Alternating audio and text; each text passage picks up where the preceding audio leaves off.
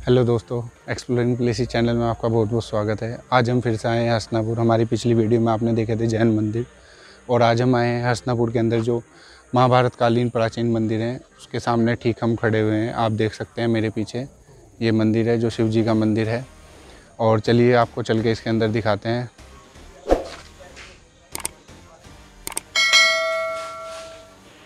ये देख सकते हैं आप, हम इसके सामने खड़े हैं। ये हमारा मंदिर है प्राचीन पांडेश्वर महादेव ज्योतिर्लिंग पर, और आप देख सकते हैं बाहर से कैसा दिखता है। बहुत ही सुंदर है, बहुत ही प्राचीन है, और आप इसके बारे में यहाँ पे एक बोर्ड लगा हुआ है। इसमें आप पढ़ सकते हैं, सारी इसमें इंफॉर्मेशन लिखी हुई है इसके बारे में। देखिए आप, इस पर सारी डिटेल लिखी हुई है।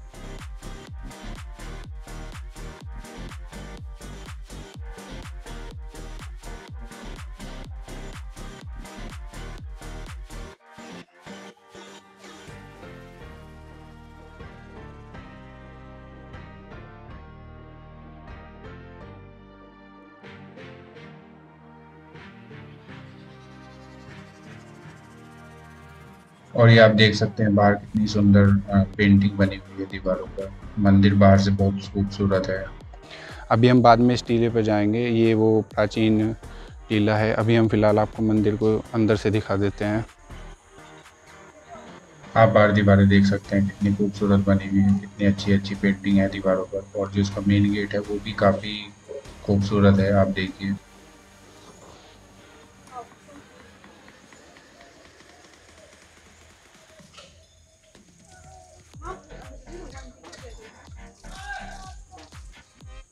और चलिए हम मंदिर के अंदर जाते हुए आपको दिखाते हैं मंदिर के अंदर। ये देखिए आप यहाँ पे कितने सारे बंदर हैं। ये देखिए आप, ये प्राचीन पेड़ है।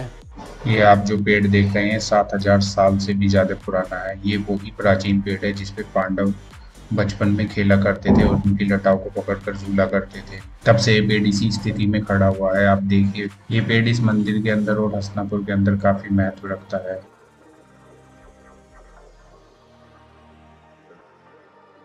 अब हम जा रहे हैं शिव मंदिर के अंदर और आपको दिखाते हैं वहाँ के अंदर के नज़ारे। और ये हम प्राचीन शिव मंदिर के अंदर एंट्री कर रहे हैं और आप देखिए कितनी प्राचीन मंदिर है। जैसे ही हमने मंदिर के अंदर एंट्री करी मंदिर अंदर से बहुत खूबसूरत है और आप ये देखिए पांडवों की प्राचीन पाँच मूर्तियाँ। और यहाँ पे है शिवलिंग ये भी प्राचीन है। इस शिवलिंग की पूजा पांडव लोग आकर करते थे और आप ये देख सकते हैं यहाँ पे। ये जो पांडवों की मूर्ति है, ये काफ़ी प्राचीन है और इनकी शक्ल पहचानना अब थोड़ा मुश्किल हो गया है। मैं आपको नज़दीक चल के दिखा देता हूँ। ये पाँच पांडवों की पाँचों मूर्तियाँ हैं जो वक्त के साथ धुंधली पड़ चुकी हैं। और आप ये देखिए शिवलिंग जो वक्त के साथ आधा रह चुका है। ये देखिए मैं आपको इसका प्राचीन, मुख्य जो वृक्ष है, वो आपको दिखा देता हूँ। इसकी मेन एंट्री है। अब मंदिर को हमने अंदर से तो देख ही लिया था तो हमने सोचा कि मंदिर को चलो बाहर से भी देख लेते हैं। ये जो आप मीनार देख रहे हैं, जो कोनों पर पड़ी हुई है, इस पर पांडवों के पहरेदार बैठ के, पांडवों की पहरेदारी किया करते थे, जब वो शिव जी की पूजा करने इस मंदिर में आया करते थे। और आप यहाँ से इस पूरे मंदिर का व्यू देख सकते हैं। ये प्राचीन कुआ है हमारे सामने और ये देखिए मंदिर की बैक साइड और वो मेन गेट है। और ये वो रोड है जो बाहर से जा रही है मंदिर के।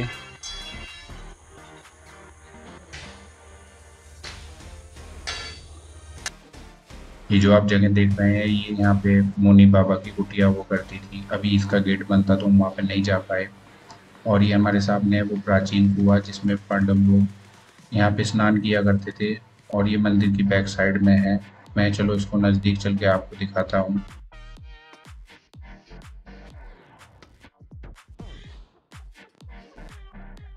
ये कुआ भी उस पेड़ की तरह काफ़ी प्राचीन है। तो हमने जैसे ही इसके पास गए तो हमने देखा कि इस कुएँ के अंदर अभी भी पानी था और इस पानी को लोग आज इस्तेमाल करते हैं अपने किसी भी तरीके के रोग में, चरम रोग में। इस कुएँ के पानी को इस्तेमाल किया जाता है। आप ये देख सकते हैं इस बाल्टी में अभी भी पानी है और कुएँ के अंदर भी है। तो इस कुएँ की पानी को इस्तेमाल कर कर लोग अपनी बीमारी को दूर करते हैं। अब आप वो सामने देख रहे हैं, हम चलते हैं उस वाले अपना जो ऊँचा टीला है, उस पर चलते हैं। और ये आप देख सकते हैं, यहाँ पे बारिश शुरू हो चुकी है। अब चलिए हम इसमें चलते हैं। सामने ये है प्राचीन जयंती। माता शक्तिपीठ मंदिर, जिसको पांडव टीला बोलते हैं। हम चलते हैं इसमें और आपको दिखाते हैं। यहाँ पे एक बोर्ड भी लगा हुआ है, उससे पहले मैं आपको दिखा देता हूँ। ये देखिए, आप इस पर सारी इन्फॉर्मेशन पढ़ सकते हैं। ये है पांडेश्वर महादेव टेंपल हसनापुर जो कि डिस्ट्रिक्ट मेरठ में पड़ता है और जो कि कैपिटल है पांडवा और कौरवा की। महाभारत टाइम में रही है और आप पढ़ लीजिए इस पर सारी इन्फॉर्मेशन को।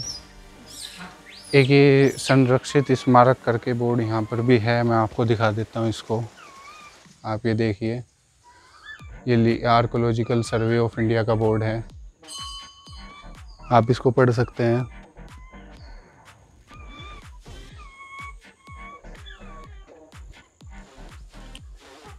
अब चलिए हम अंदर एंट्री करते हैं मंदिर के अंदर। अंदर पहुँच जाते हैं और ये रास्ता है, आप देखिए।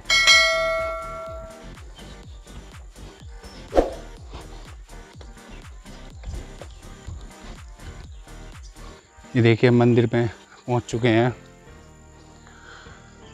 ये शनिदेव का मंदिर है और आप ये देख सकते हैं हमारे सामने।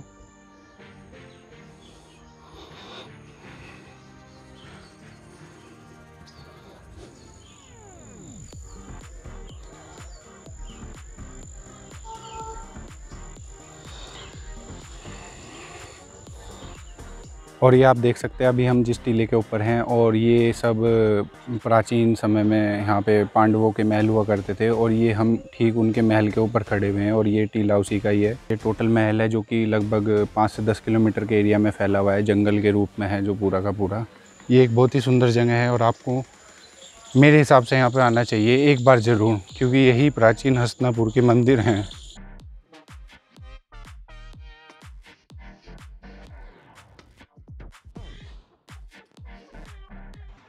यहाँ पर भी हमें एक शिव जी का मंदिर नज़र आया, जो कि बाद में बनाया गया है। ये पहले से प्राचीन नहीं है।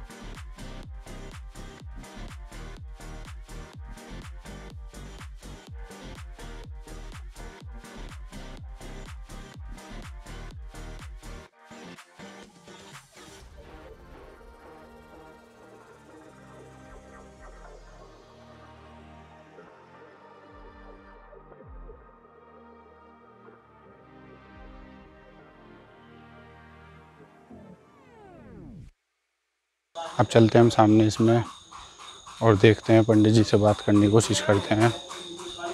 मंदिर के अंदर एंट्री कर चुके हैं और हमने पंडित जी से बात करते हैं। अभी इसके बारे में जानते हैं, इसके इतिहास के बारे में। तो देखते हैं, पंडित जी हमें क्या बताते हैं यहाँ के बारे में। मंदिर अंदर से बहुत खूबसूरत था और ये जयंती माता शक्तिपीठ मंदिर है, जिसकी पांडव लोग पूजा करते थे। ये जयंती माता पांडवों की कुल देवी हुआ करती थी जब पांडव इसी मंदिर में पूजा करने आया करते थे।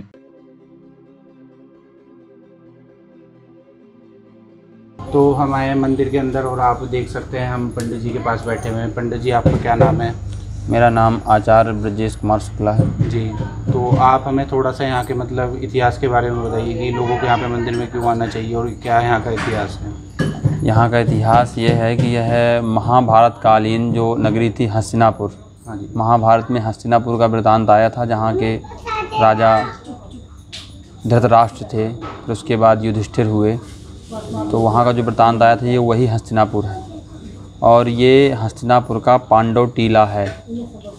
इसको पांडव टीला बोलते हैं। यहाँ पर जो पांडवों की कुल देवी थीं, वो यहीं थी, माता जयंती जी। माता जयंती माता पांडवों की कुल देवी थी। और देवी भागवत महापुराणों में इसका वर्णन आया है। इक्यावन शक्तिपीठों में से एक शक्तिपीठ है ये। है माँ जयंती माता जो है यहाँ पर माता सती जी की दाई जंघा का अंग गिरा था। अच्छा जी। माता जब माता सती के इक्यावन टुकड़े हुए थे। तो इक्यावन अंग माता सती के जहाँ जहाँ पर गिरे हैं वो जाकर शक्तिपीठ बने हैं। जैसे आपकी कामाख्या देवी आपकी वैष्णो देवी आपकी शारदा माता एमपी में हैं और आपकी जो है चिन ये चिन वैष्णो देवी हैं। ये सब मनसा देवी। मनसा देवी हैं। ये सारे इक्यावन शक्तिपीठ हैं। कुछ हमारे भारत में हैं कुछ हमारे भारत में हैं और कुछ जाके ये शक्तिपीठ विदेशों में हैं।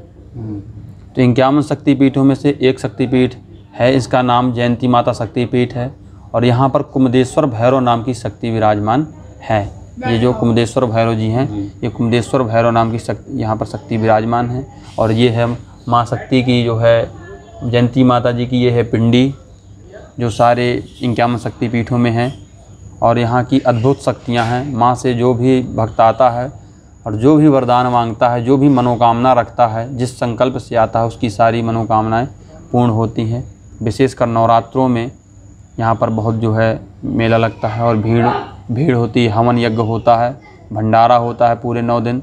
पूरे नौ दिन यहाँ यज्ञ चलता है। पूरे नौ दिन यहाँ माँ भगवती का, दुर्गा सरस्वती का पाठ होता है।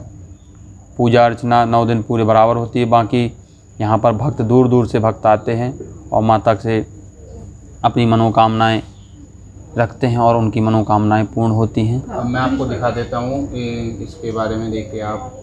ये बहुत ही सुंदर मंदिर है और आपको यहाँ पे ज़रूर आना चाहिए और एक बार तो आप यहाँ पे आकर दर्शन कर सकते हैं। आप देख सकते हैं जैसे अभी पंडित जी ने हमें जानकारी दी है और ये मंदिर काफ़ी सुंदर है। आप देखिए मैं आपको इसका एक व्यू दिखा देता हूँ।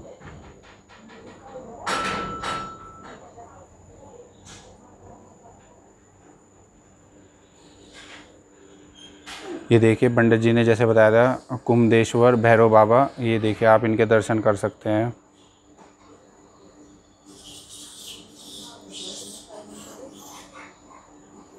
तो आप, पंडित जी से जो भी आपको यहाँ के बारे में जानकारी चाहिए कि वो आप पंडित जी से डायरेक्ट कॉल करके पता कर सकते हैं। पंडित जी आपको पूरी सहायता करेंगे जी, जिसको भी इस मंदिर के बारे में और यहाँ की प्राचीनता के बारे में जानकारी लेना है वो सभी भक्त मेरे नंबर पर, मेरे व्हाट्सअप नंबर पर या मुझे कॉल करके जानकारी ले सकते हैं या कुछ भी पूछना है, कोई पूजा पाठ से लेकर या कोई पूजा पाठ करवाना है या कुछ भी आपको किसी भी प्रकार की कोई जानकारी पूछना है, ज्योतिषी गणना में कोई भी जानकारी पूछना है तो आप संपर्क कर सकते हैं इस मंदिर की जानकारी या कुछ भी आप किसी भी बारे में आपको पांडत्य कर्म से, कर्मकांड से लेकर पूछना है तो आप संपर्क कर सकते हैं।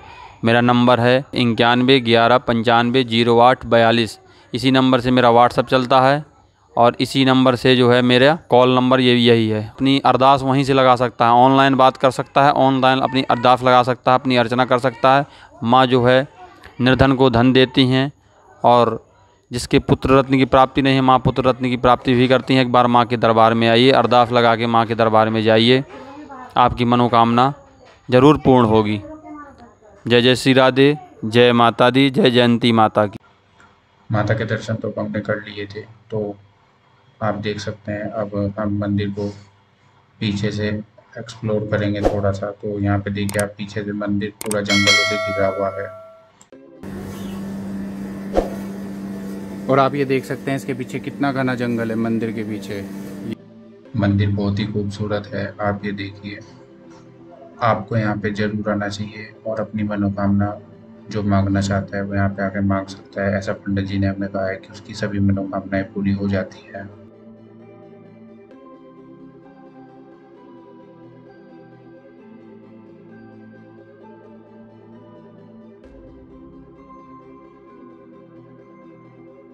अब हमने एक और प्राचीन चीज़ देखी, जो कि गुरु गोरखनाथ बाबा का प्राचीन मंदिर है और ये रास्ता आप जो सामने देख रहे हैं, ये जंगल की ओर चला जाता है, जो कि ये लगभग दस किलोमीटर के रेडियस में फैला हुआ है और ये सारा पहले पुराने प्राचीन टाइम में किला हुआ करता था, इसके नीचे और उसी के ऊपर आज सब जंगल खड़ा हुआ है और इसकी ऊंचाई जो है वो लगभग छः मंजिल के करीब है।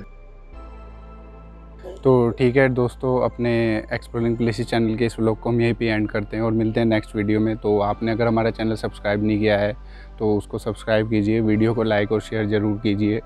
और अगर आपको वीडियो अच्छी लगे तो कमेंट ज़रूर कीजिएगा। ऐसी ही वीडियो बनाते रहेंगे आपके लिए।